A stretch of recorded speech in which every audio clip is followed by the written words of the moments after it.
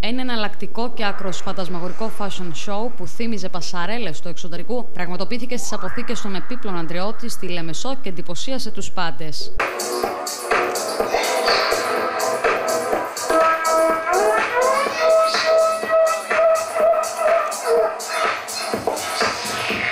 Ο Μενέλαο Θεοδοσιάδη, θείον design, εμπνευσμένος από το χώρο στον οποίο έγινε το show, έφτιαξε και παρουσίασε χειροποίητα κοσμήματα από ανακυκλώσιμα υλικά. Κοσμήματα από χαρτί, σίδερα, βίδε και ό,τι άλλο διαθέτει μια αποθήκη, όπως αυτή των επίπλων Ανδρεώτη.